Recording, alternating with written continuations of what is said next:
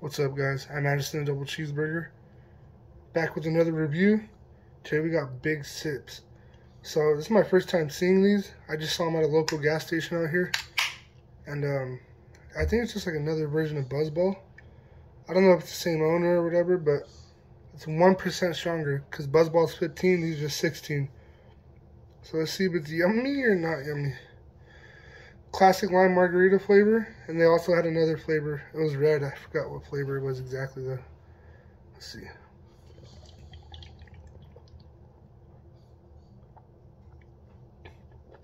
Oh, super sweet. yeah, it just reminds me of. It just reminds me of Buzzball. a little less tart though, actually.